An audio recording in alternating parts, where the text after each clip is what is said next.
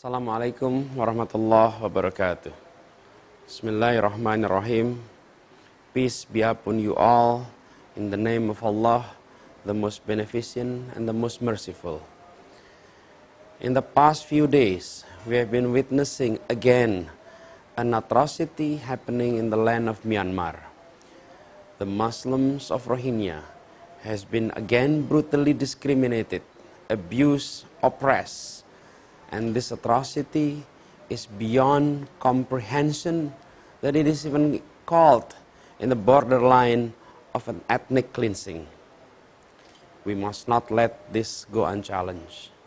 We must not let the regime of Myanmar continue to let this brutal ethnic cleansing to take place. It has repeatedly happened, and this time we should all call for actions. We should all unite to stop this atrocity from continuing.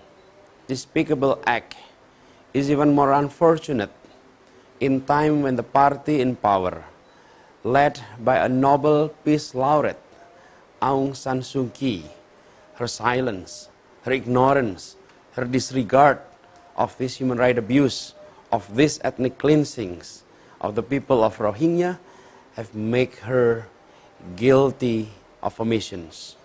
And therefore, I'm calling the Norwegian Nobel Committee to revoke the Nobel Prize that was given to her. The Nobel Prize was given for her fight for democracy and for human rights. It is unfortunate, it is unacceptable, it is not understandable that a Nobel Peace Laureate stand still, do nothing, ignore this kind of atrocity. We want the Norwegian Nobel Committee to take notice, to pay this issue seriously, and to take actions. The world is now paying attention to you. Where do you stand on this ethnic cleansing atrocity?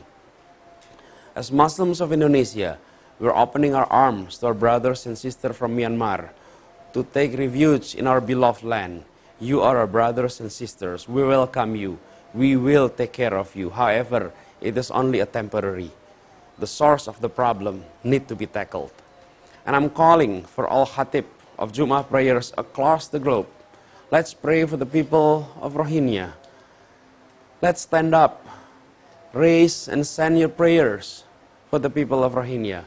Call the help of Allah to strengthen their iman, to strengthen their moral, to strengthen their spirit in the fight of these brutal actions of ethnic cleansing. Remember, we will not forget this. And inshallah, His blessing will always be upon you. And His blessing will be always upon us all. And inshallah, we all will be rewarded with our good deeds that we're doing anything we can to help our brothers and sisters of Rohingya. Peace be upon you all. Thank you. Assalamualaikum warahmatullahi wabarakatuh.